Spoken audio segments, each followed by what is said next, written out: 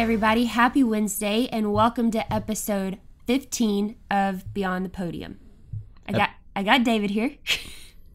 I got Kaylee here.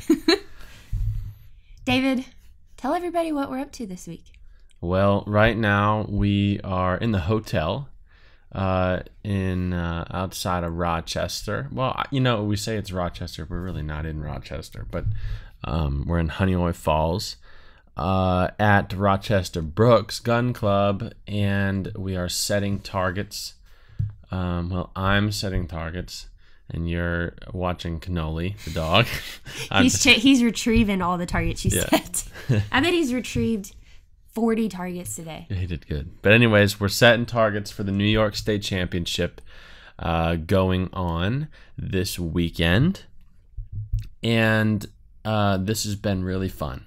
I wanted to. Uh, I, I want to start off with this and one other thing, um, and then we're going to get into what our the main topic of the podcast is, which uh, for tonight, which I'll let Kaylee introduce later. But um, this has been really fun. Rochester Brooks is a place that I teach at on a regular basis. It's a beautiful club. It's a beautiful area of the country. I have a lot of students here. A lot of you guys that listen to the podcast are here.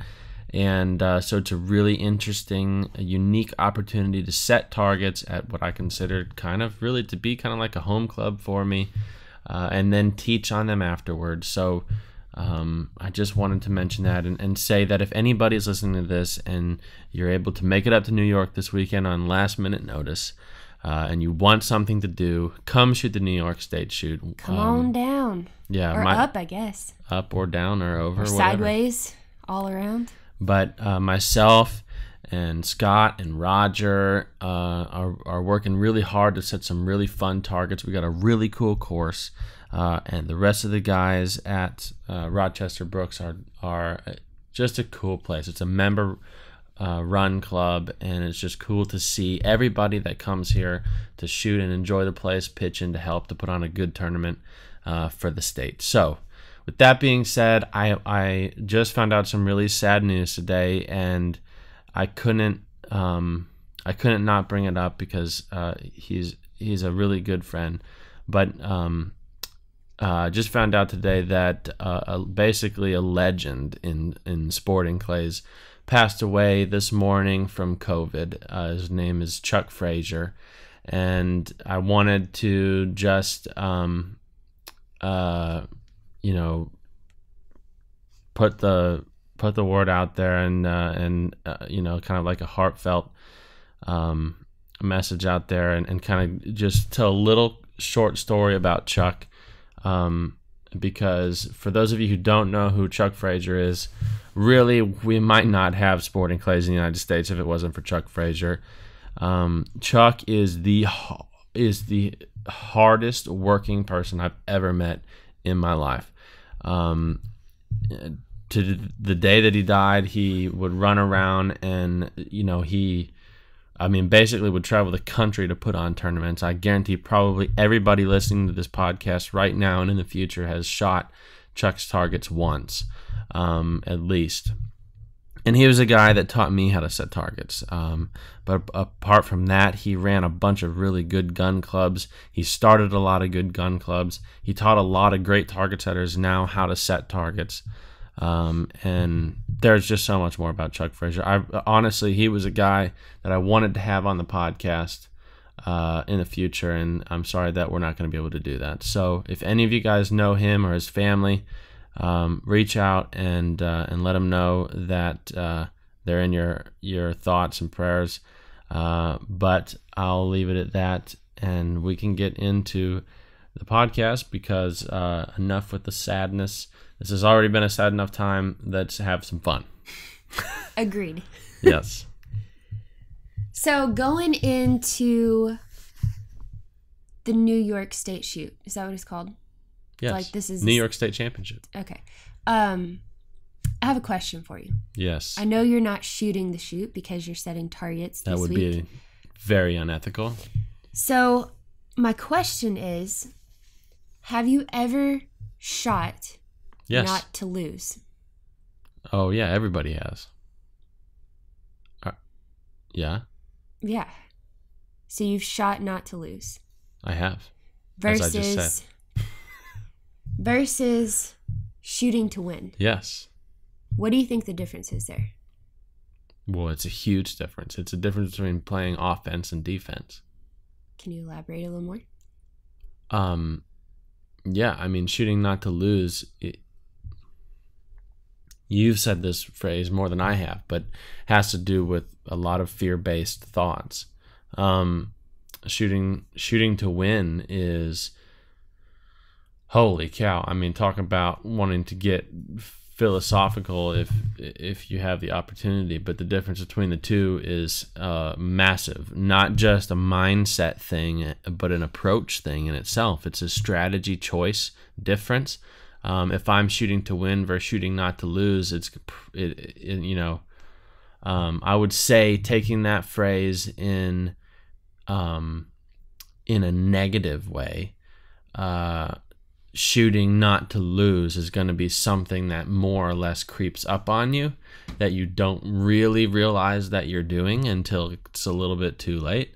Um, whereas shooting to win is definitely something that's more of a conscious choice in terms of a mindset and approach to the game, uh, at least in my game.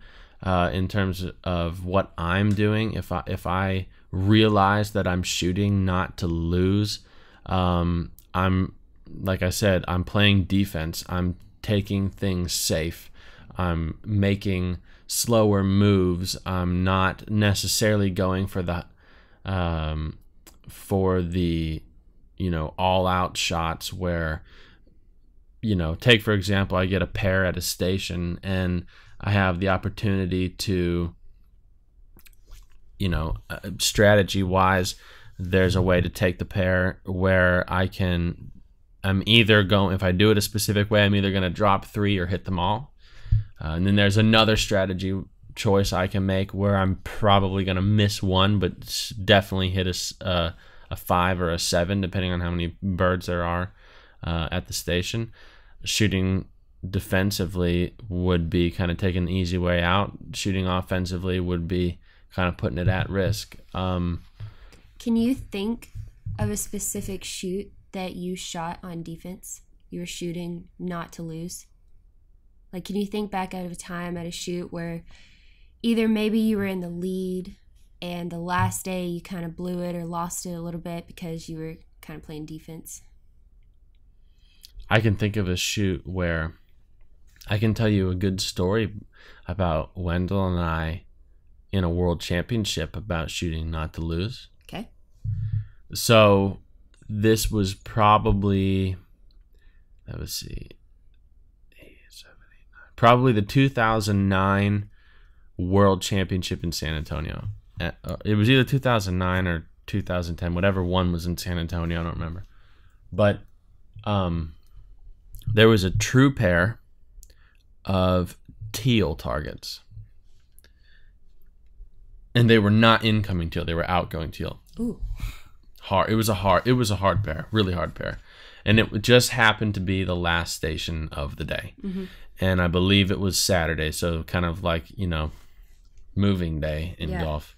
And so Wendell and I were shooting on the same squad, and both of us had good rounds going.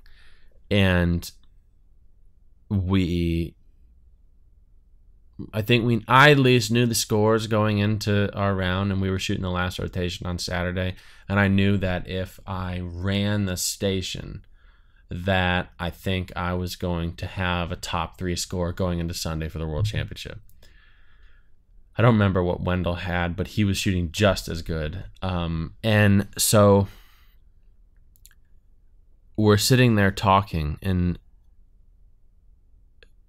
I, it was obvious that there were two ways to shoot this pair. You could take both birds on the way up, uh, or you could take one bird on the way up, one bird on the way down, Mhm. and we're we're both sitting there th- talking about it because no- normally we make all these decisions by ourselves, okay, like in our heads. But this was a tough pair, and we're in a good situation, so we're kind of bouncing ideas off each other. And I said, "What way are you going to take it?" And Wendell goes, "I'm not sure. What way are you going to take it?" And I said, I I have no idea. And he goes, Well, Did you have an idea and you just didn't want to tell it, or no, I really didn't have an idea. I was also playing with do I want left bird first, right bird first? Do I want, you know, I had, I literally had no idea. Both on the way up, at the top, at the apex, on the way down, both on the way down. I don't have any idea. Um, and Wendell goes, well, there's, there's two, there's two approaches you can take. You can, uh, you can, I forget the phrase that he used, but I remember thinking it was funny at the time. It was something about like, well, you can either, uh, you know, like blow your blow your score up on this round, or you can finish with a really good score by taking them both on the way up. Meaning that you know that is the way to shoot an eight, but it's also a potential way to shoot a three. and comforting? right. Um, and, and then, you know, or you could take them dropping, and it was a safer way to play it, but probably not going to hit all 8 But you're definitely not going to hit just 3 Mhm. Um, and so we both decided we were like, you know what? Let's stick with the right mindset here, and let's kind of let's just go big or go home. And we both ended up going home. so it didn't work out. You shot not- at three. Did not work out. I think I dropped four birds and Wendell dropped four. I don't know. It was bad. But we, we decided both to try to shoot it on the way up. And uh, I, I tell that story because it's not, I mean, we, we consciously made the choice of shooting to win. Mhm. But I think what forced us weren't really shooting. we weren't win. we made the strategy choice to win Yeah. right we, we made the choice that allowed us to potentially you're have the eight scared of that choice. exactly it was a it was a pair that scared both of us i think and we we ended up not doing well you know that's a kind of shot to a true pair of teal on the way up that's a pair that you you really have to trust and if you hang on to that shot visually or mechanically for any moment of time you're gonna miss What scared you about that pair? Was it the actual pair or was it what was on the line? And that it was you had to end on a hard pair.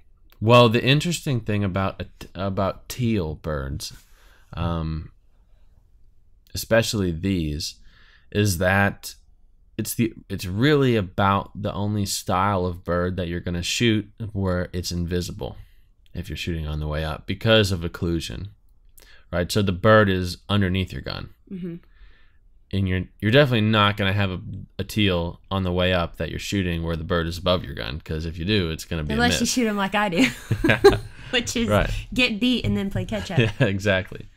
So, um, what's scary about it is, it, it, it is that if you're sitting in a position to where you potentially have, you know, a score you need to win the world championship, and you got a true pair of birds that both birds are going to be shooting with your non-dominant eye, Mhm. looking through the gun.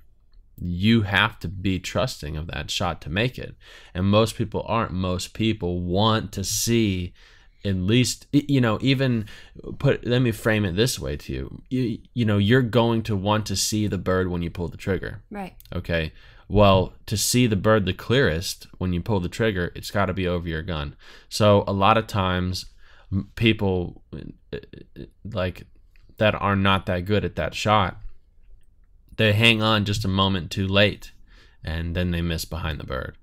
Um, so you know to fight the natural instinct of wanting to feel safe and comfortable by seeing the bird well when you pull the trigger um, at least for you know uh, somebody at a high level of uh, of proficiency in the game that's what you're going to want to do. But it goes against all things that you do when you shoot well to pull the trigger when you don't see the bird that well. Right. um, and so that that's why that pair is scary for a good shooter in a good position because you you just have to you either have to trust it or you have to manipulate it in some other way you know Do you think that pair would have been as scary as you thought it was in if you would have had, let's say, an eight bird lead? Knowing if you dropped all of them, you were still going to win it? well it was saturday Well, let's just say it's Sunday. well then why would i care Well, that What I'm asking Yeah. is if you miss all of them, you're tied. Yeah. If you hit just one, you win. Yeah. Is that pair as scary?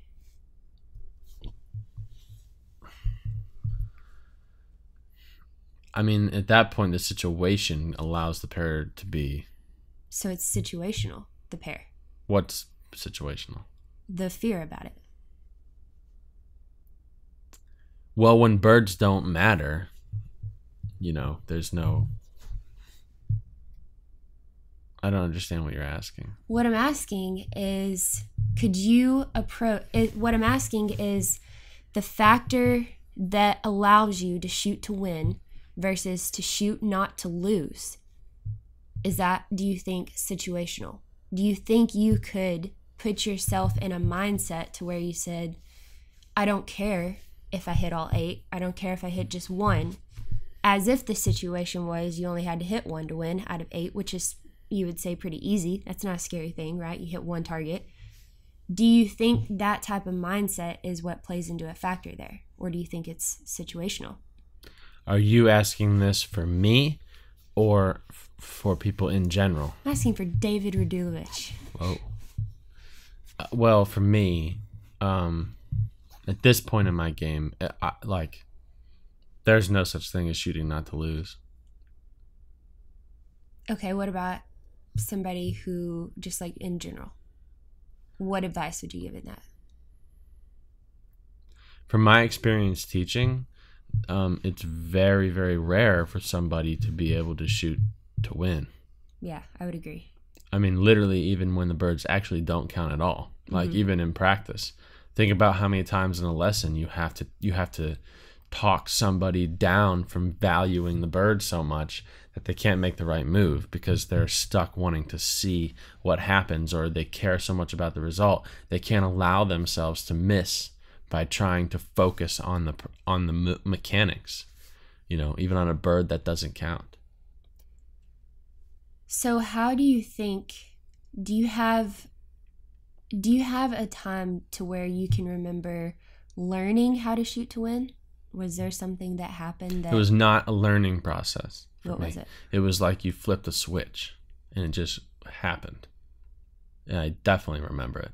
What was it? It, it was uh, the world championship that I won. In Budapest? Yeah.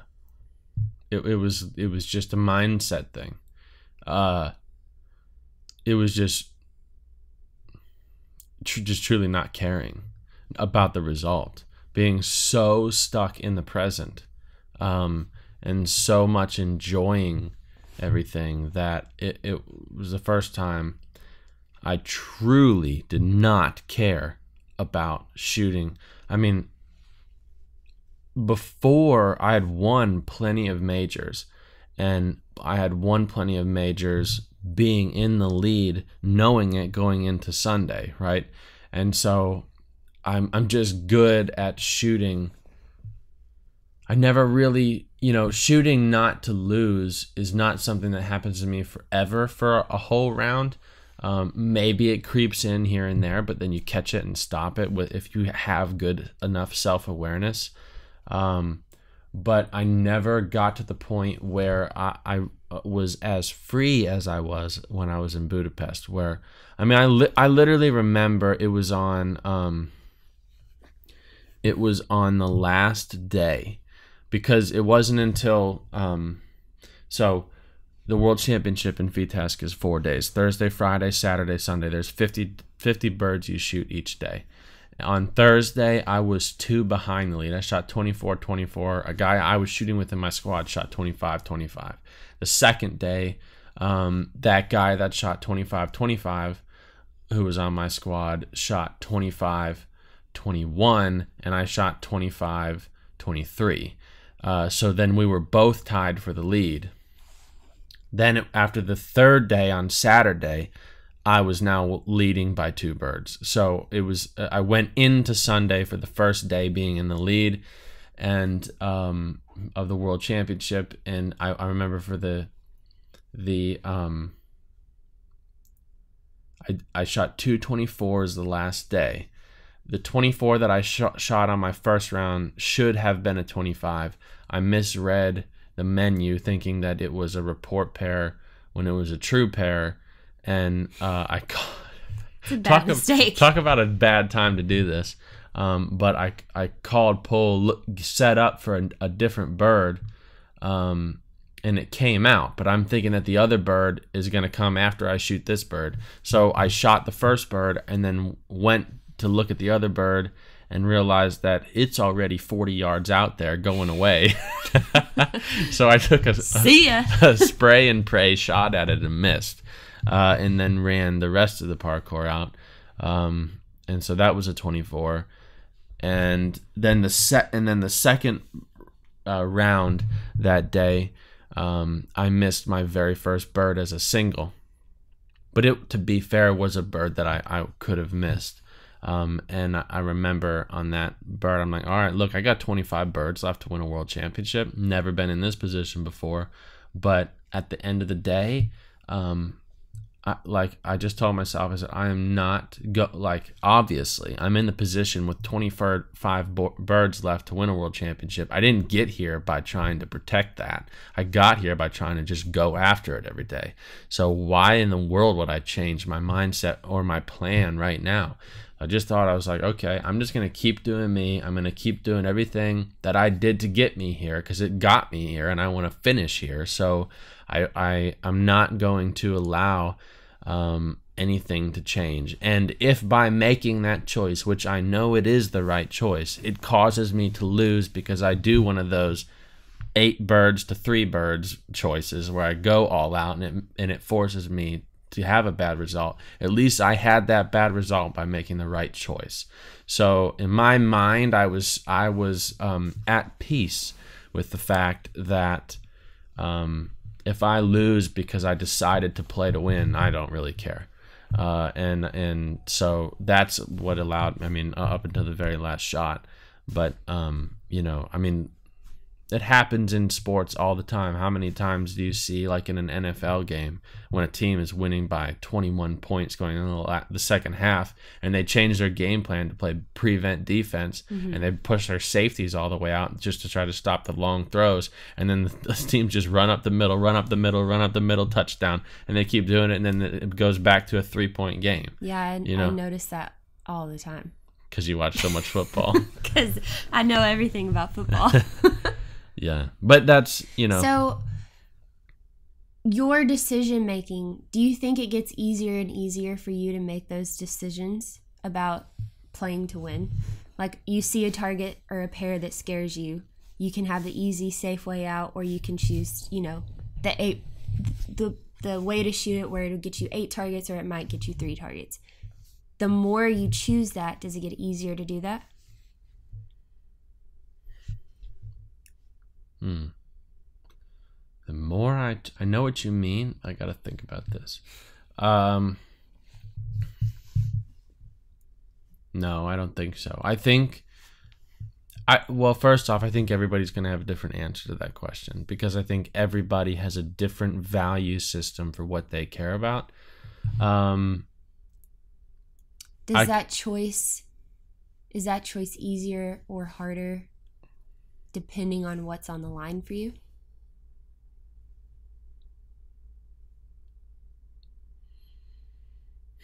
hmm. Making you think tonight. Uh for me, that choice is easier to make when there's not a lot on the line. I know when the first half of the Olympic trials, I shot to win because I truly didn't care. I did not care. If I didn't make the team, I was over it. I was done. wasn't going to I wasn't even going to go to the second half of the trials. yeah. So I shot and I shot really good. I came out on first. Second half, I knew I was on top. And so the first half of the shoot, I was a little bit shooting not to lose. I didn't shoot great, didn't shoot bad. I was just kind of right there in the middle, you know, that happy, happy medium round. And I think it was the second to last day was when I was like, okay, I'm tired of this crap. I don't want to shoot, you know, not to lose. I want to keep gaining and shoot to win. And it, it took me a little bit to realize that. But what was hard was I could realize it on some rounds that I was doing it, but I didn't quite know how to correct it because for me, there's a lot of value on that shoot. To you, what changes when you shoot to lose? Or shoot when you shoot not to I don't lose? like to shoot to lose. Ask that again. what changes that makes you shoot worse when you're shooting not to lose? Um, my mentality on it Yeah, but I mean, changes. My mentality changes on it because when I shoot to try to protect a lead or to try to protect my score, then, like you said, I'm playing defense and I don't shoot, I don't allow myself to shoot to my full potential because I'm holding myself back, whether that be what I'm thinking about, trying too hard to hit the target because you know shooting for a score putting a high value on a score whatever it is i don't allow my shoot myself to shoot to my potential because i'm holding myself back with, with my mentality. Okay, but what I meant was what changes mechanically, visually, technically, physically, emotionally when you decide to shoot not to lose? i think uh there's a lot of tension that comes into play so Physical tension. Yeah. Uh, well, yes, physical tension caused by like a mental block on things because I'm putting a lot of pressure on myself.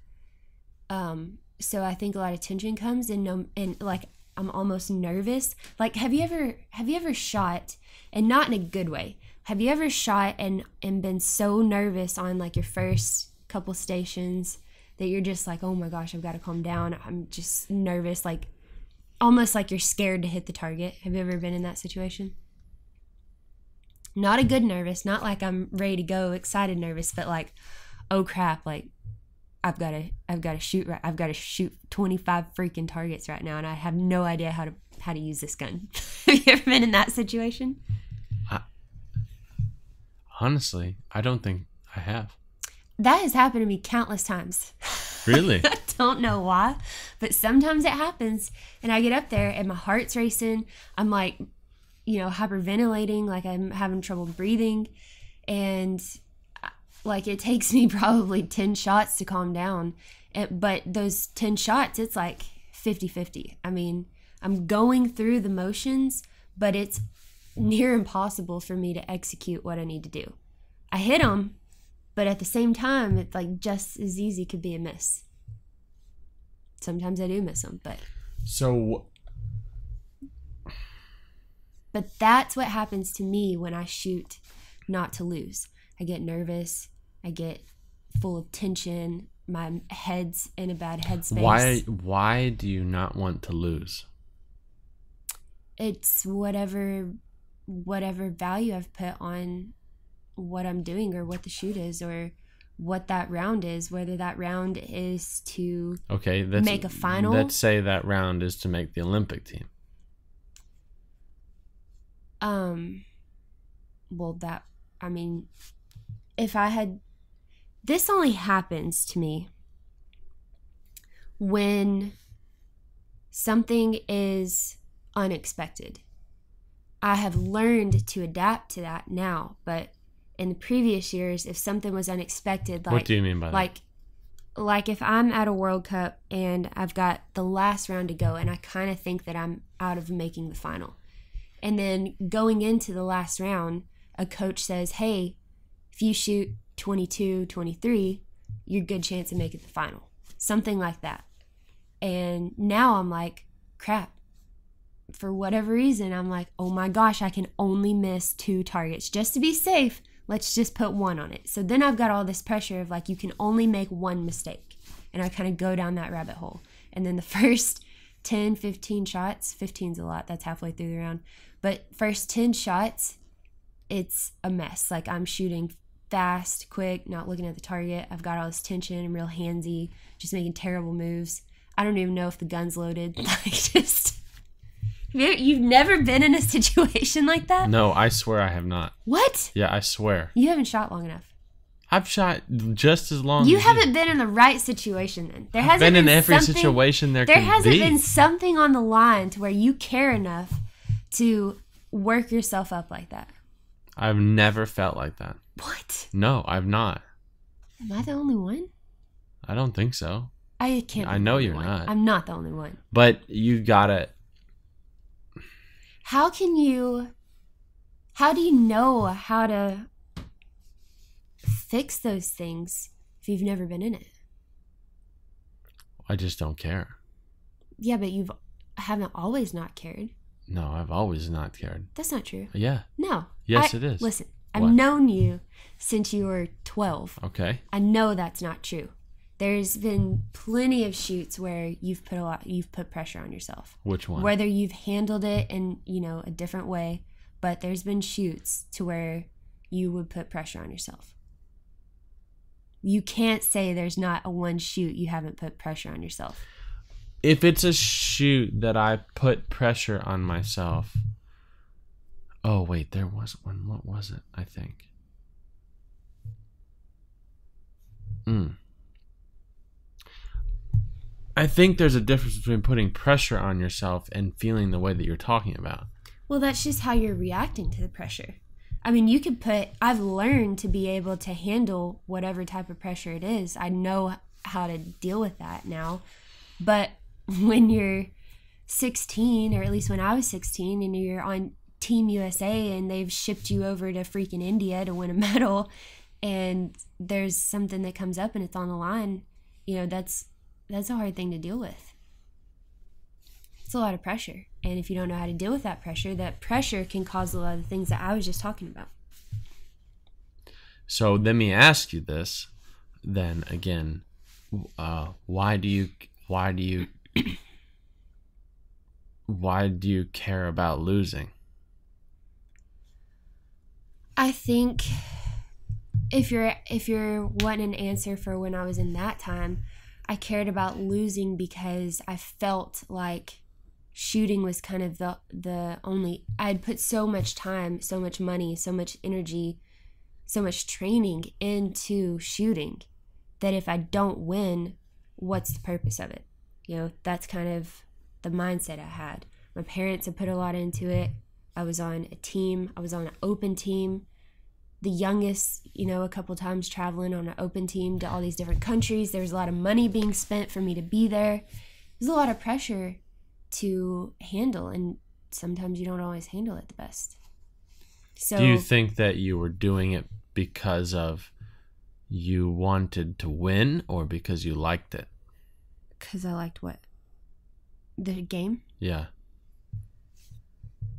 Um, I think that fluctuated. There's times where I truly, you know, enjoyed shooting and I shot really well, and then there were shoots where I was like, I want to win that thing. You know, I think I had different motivations for different shoots. I can't tell you why or pinpoint one or the other, but Well, I definitely have shoots I want to win, mhm. but if I don't, I don't feel like anything was wasted. I went through a dark time, I think. Like back in 2012, 2013 ish, that time. It was almost, it, I look back and it was good for me, but it was almost a time to where, even in practice, if I could start off like shooting a round, and even in practice, if I missed the third target out, I was just done. It's like, why are you even shooting? You suck. You know, I just had that type of mentality, which is terrible. Wow. And I see I see kids sometimes go down that road and I look back and I'm like, wow, I was I was that kid. I was there. But it I, I say all that to because my point was for a long time I would go I would bounce back and forth from shooting not to lose and shooting to win and I could only tap in shooting to win a very few amount of times. It was something that was pretty rare for me to do. I would have spurts of it, like during a round. You know, I might have one round where I just smoked 25 and I was like, holy crap, where'd that come from? And then I might turn around and, sh- and shoot a 20 and I'm just like, all right, well, back to normal. You know, just, just, I would, I would kind of hit it in spurts and didn't really know why it happened or Yeah. understood why it happened. Being older now and the wise lady that I am, I know now that all of that came from me putting pressure on myself because of how I valued that shoot or how I valued what was on the line from that shoot. So if I wanted whatever was on the line on that shoot, then I would shoot not to lose. Whereas, should have shot to win. Because when you shoot to win, pretty much probably win. Well, I mean, not all the time, but there's not pressure there. You're going to shoot a lot better than if you're tense and under pressure. And do you think that there's no, Do you think that if you shoot to win, there's no pressure?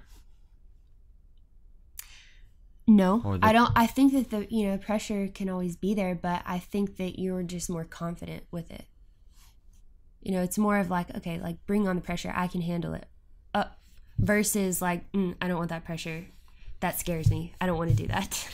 You If do I it, could but, but you you're scared of it. So I asked you a question about what is different when you're shooting not to lose, like mechanically, emotionally, technically.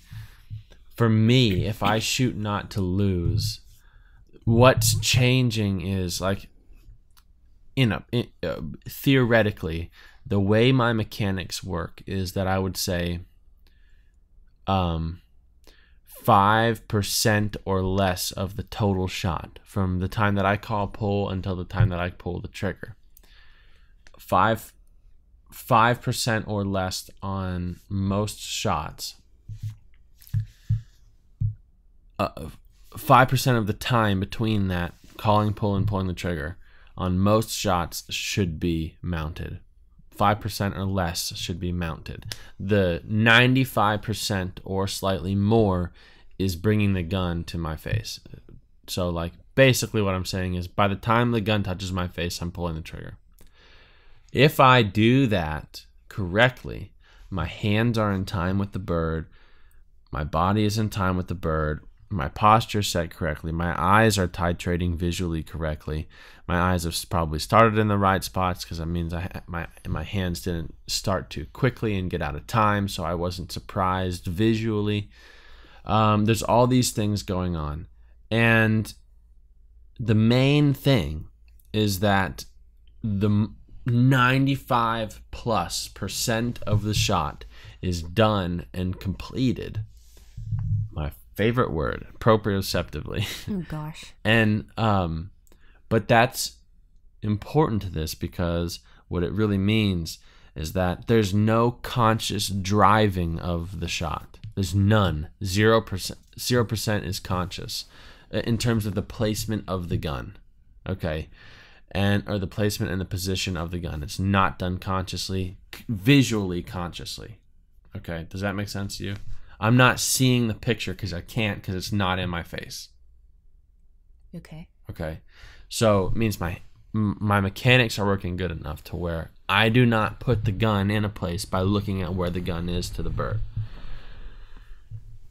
If I'm shooting not to lose, then that's slightly different. The time at which I'm in the gun in terms of the shot has gone from 5% now to probably it could be maybe 20%. So that means my hands are faster. My my uh in terms of mounting the gun. So i'm getting in the gun earlier. I'm able to see the picture more. I have higher levels of barrel awareness placing the gun more that amps anxiety which creates tension lack of visual control in terms of how well my eyes are titrating on the bird visually i'm getting to my level of 100% detail probably at the time that i finish my mount but i'm holding on to the shot an extra 15 to 20%. So what's happening is I'm trying to be safe. So you're basing yours off of mechanics. No, what I'm saying is if, if my mindset is is of the trying not to lose, then it influences my mechanics. Okay. If my mindset is that I'm shooting to win, that also influences my mechanics because it allows me to But do what I want. in a positive way. Yeah. Yeah, it, I would say actually it doesn't influence my mechanics. What it does is allows me to do what I plan. If I'm shooting not to lose, it it gets in the way of me doing what I planned. Yeah. Agreed. Yeah. And so um that's the mechanical thing that's happening that's wrong. Um and uh you know, that's going to influence shots. That's going to where it's really going to influence a shot if you want to think about this that that pair that I told you about the story with Wendell, right? Mm-hmm. True pair of teals coming up and I decided to shoot them on the way up, but there was some level of fear in the shot like I just explained, what what does fear do? It makes me get in the gun a little bit early before I want to call pull. If I'm shooting a bird below me going up in the way that I shoot a teal is I stay above the, the target the whole time. My point of impact is above the bird the whole time. If I'm shooting that low gun, which I would, and I'm pulling the trigger the moment that the gun touches my face, I'm probably going to be able to see the bird over the gun for most of the shot because the gun is underneath my eyes unmounted. Even though the point of impact is above the bird, it's going to look like the gun is under because my eyes are over the gun, if that makes sense, right? Mm-hmm. Because I'm mounting the gun up.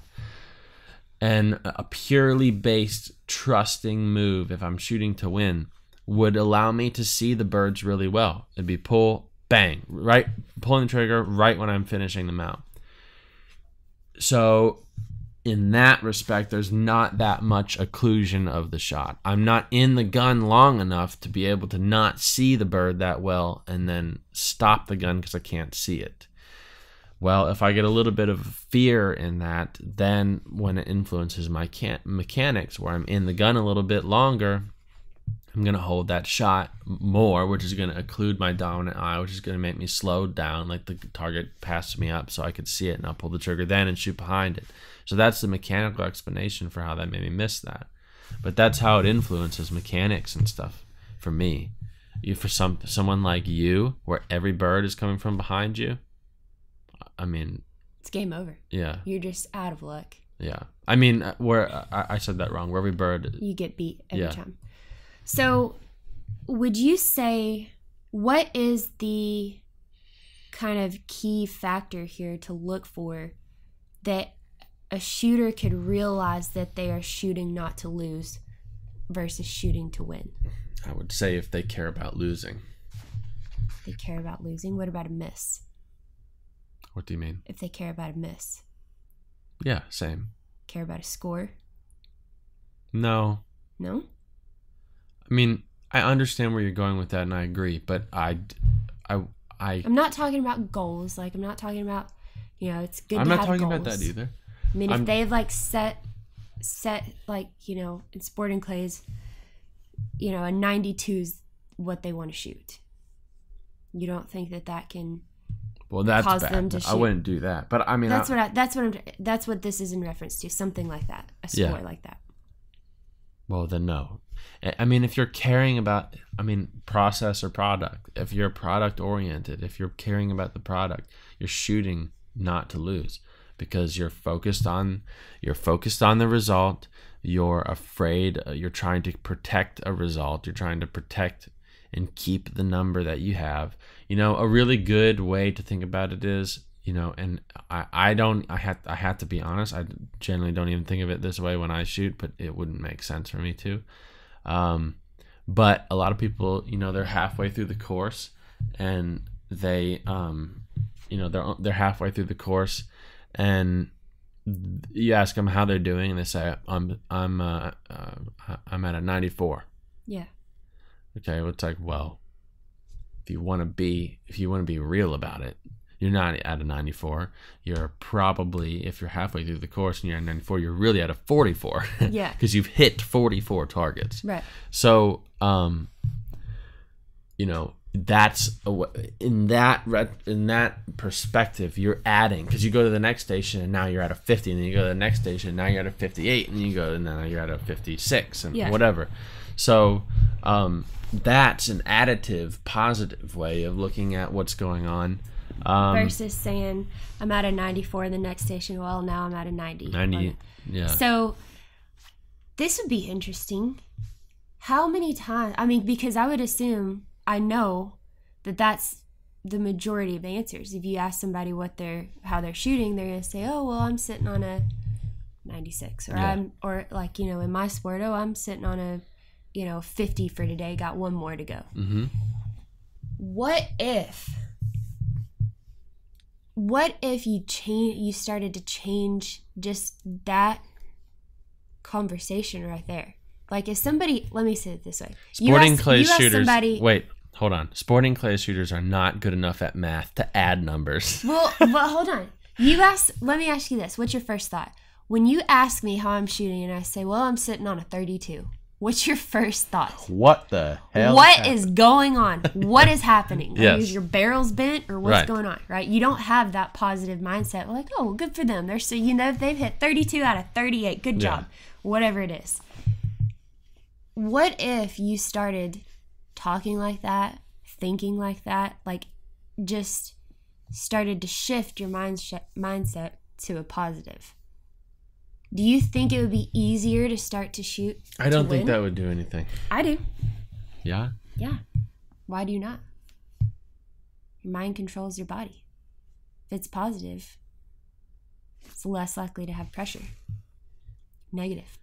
I well, I mean, if you change your whole mindset and perspective, Yeah, yeah. you got to start somewhere. You can't just say, all right, well, tomorrow I'm just going to change my mind. Yeah, you can. no, you can't. You absolutely it's a can. process. You have to train your brain just like you train anything else. Let me ask you something. You don't seen those brain training camps? Let me ask you something. What are you thinking about right now? I'm thinking about brain training camps. Okay, I want you to think about No, no, no. What? We're talking about making a change in your thinking, in your mind. Let me ask you this: yeah. how how hard is it for you to do to multitask? It's impossible. Okay, so you can't just change that. If I said, David, I just want you to change how you think about things. I want you to think about four things at a time and remember to do them. Nobody can do that. Yeah, of course they can. Nobody can. Do I that. do that. I'm a multitasker. I can think about something. I can remember something else. I remember to text this person. I remember to, you know, mow the yard, whatever. Nobody can multitask. It's Yeah. a it's a farce. Okay, well, you know what I mean. How hard would it be for for you to do that? You would have to learn that process. You would have to rearrange how you thought, how your natural thoughts come in and say, "Oh, hold on, David. That's a difference between a personality trait and a mindset. Two different things. No. Yes. No. One is positive and negative. Mm-hmm. The other one is an innate trait of how you are. I think it's learned.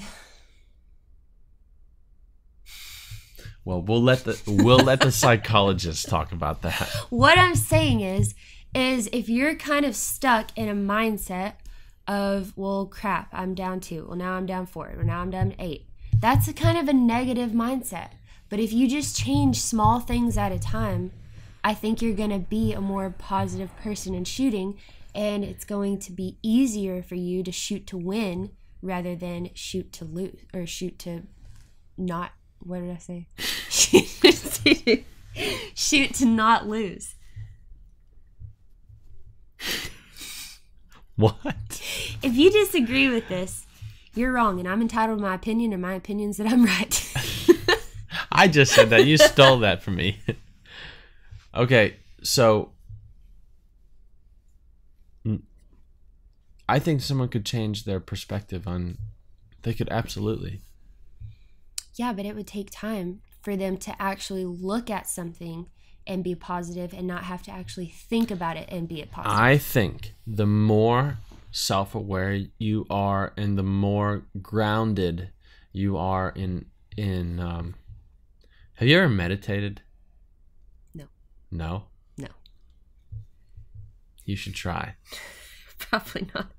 No, seriously. I'm a multitasker. I wouldn't be able to just. Listen, you want to talk about a, a, a profound level of experience uh, about conscious thought. I'm serious. You're looking at me like I'm weird, but I'm serious. I'm, li- I'm listening. it it allows you to understand, you know, your conscious thoughts don't drive you. You can collect your conscious thoughts at any time and and, and stop responding and reacting to them and instead understand what they are and make a choice. Right. But Yes. that's a habit to push that aside. You have to make the change.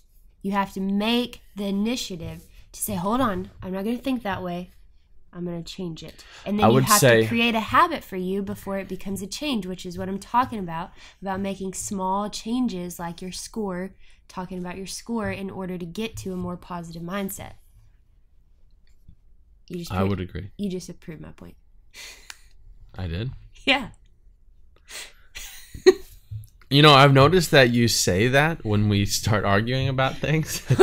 and you and I'm starting to think that you have found a loophole in the system where when you say that I just proved your point, you just say it out of thin air even if I don't and then you say it in a way that makes me think that it's true and I just No, let you this win. is just you catching up to the conversation. no. This is like a light bulb going off above your head, and you're like, oh, I get it. Uh, No. Anyways, no, but I agree with you. The habit has to. The habit though is not is not the change. The habit is the the stop and the recognition of the fact that okay, that's changed the way I'm thinking. Because at any moment in time, you can change the way you're thinking. The habit that you need to change is the fact that you realize you can change the way you're thinking. exactly. Okay. And you can make little changes like that by little positive things that eventually turn into bigger things and bigger things. And then soon enough, you don't have to, you know, within respect, stop and say, "Oh, hold on, David, I really don't like how I'm thinking here. Let me change that." It your your brain will start to see the positive things. So like you saying I'm sitting on a 96, well, no, I've actually hit 42 out of 45 right now or whatever it is. You know, see what I'm saying? Forty-two out, out of forty-six. Well, I'm not saying the math to math. I'm just saying. We all know I'm not the best in math. Somehow you made four three. well, see, I gained a bird. Holy cow! But that's how I think, to wrap it all up, that's how I think shooting to lose versus shooting to win, the different mindsets, how they play into it. And I think in order to shoot to win, you have to, like you said, be self aware enough to realize that you're shooting not to lose. hmm I'm picking up what you're putting down. It's about time. It's a, a solid hour to get you there. No, you are you're something else. You got anything else to add to that? No, but you just proved my point. Well, my opinion is is that I'm right and I'm entitled to my opinion. Quit stealing that from me. I should have never said that. I never heard you once say it. Yes, you did. All right. Well, why don't we do this and we make this our first sub one hour podcast? Let's do it. I'm in. uh, cool. Well, guys, If y'all are in uh, New York, Rochester, or anywhere else in the country slash world, head on down, up, or across to New York and come see us. Come shoot with us because we're going to be doing some interviews here too. So look forward to those. I'll be coaching here next week. Kaylee will As be will coaching I. here. Uh, yeah, Kaylee will be coaching here next. I'm gonna So make if you it actually want Here's what I'm gonna do. coaching, real quick. Uh, never mind. I'm not gonna say it on the podcast because if we can't, don't have time to do it, I don't want people confused. Uh, anyways, um, cool. Let's do this. For those of you that are listening to the podcast, go to your social media and I want you to share this episode on your social media. And I want you to hashtag Beyond the Podium podcast. And I and at, before the hashtag, I want you to tell and explain just one time when you shot to lose. Or, I mean, shot not to lose yeah, or shot to win. or shot to win. Yeah, if you can think of a shoot that, you know, maybe you were in a position something that we talked about tonight, and you know you thought, wow, that's exactly me. We want to hear about it. Yeah. Put a little story up. We'll share them, and uh, maybe we'll do something cool uh, with everybody that did it. We might might read them off and talk about them in another podcast. Or on the live, we might could do a live. That would be a great idea. yeah, let's do that. Cool. Cool. So do that. Share this podcast episode. Hashtag Beyond the Podium podcast. If you don't hashtag it, we won't be able to see it because we'll search the hashtag. So uh, whether it be Instagram, uh, Facebook, whatever, just share it. Hashtag Beyond the Podium podcast. Write a little paragraph about uh, one of those two scenarios, and we'll read them off and live and talk about them. As always, guys, we appreciate y'all listening to us. We have a lot of fun doing this podcast. And if you like it, give us a good rating on your favorite podcast app. Make sure you're subscribed to us and follow us. And uh, we'll see you next week. Thank you so much, guys. We will uh, see you soon. Like, see you next week. wish